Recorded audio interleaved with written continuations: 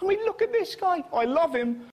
This material is classified as a satire to expose stupidity and corruption in contemporary politics under Section 107 of the Fair Use Act.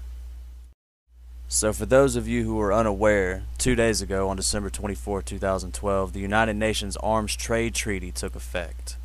And this is basically just international gun control. Um, some provisions of the treaty are Article 2 of the treaty defines the scope of the treaty's prohibitions, the right to own, buy, sell, trade, or transfer all means of armed resistance, including handguns, is denied to civilians by this section of the Arms Trade Treaty. Article 3 places the ammunition, munitions fired, launched, or delivered by the conventional arms covered under Article 2 within the scope of treaty's prohibitions as well. Article 4 rounds out the regulations, also placing all parts and components of weapons within the scheme.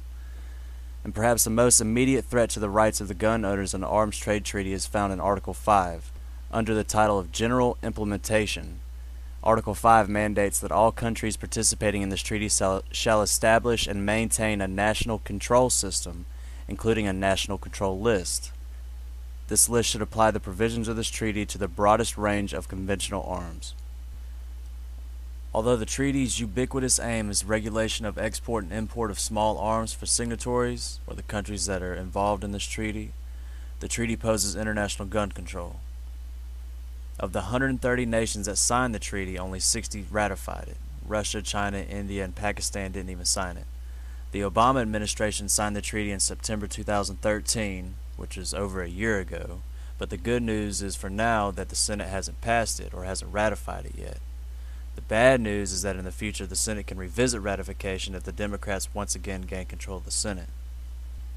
So the treaty only binds those nations that have ratified it and Congress should therefore continue to oppose ratification of the ATT or the Arms Trade Treaty and ensure that it is not implemented before it passes through the entire U.S. treaty process. Because if it does, we'll be involved in this whole international gun control registry scheme that they've got going on. They want to know who's got the guns, and if you pose a threat to them, they want to be able to take them away from you. They want the authority to control who has weapons. And if this treaty is ratified, it'll completely nullify our Constitution and our Second Amendment rights to keep and bear arms. Because if you're deemed a threat, you don't get a gun. Merry Christmas. On Christmas Day, I travel around the world and say, That was Christmas bonus and all you atheists too. Merry Christmas to you.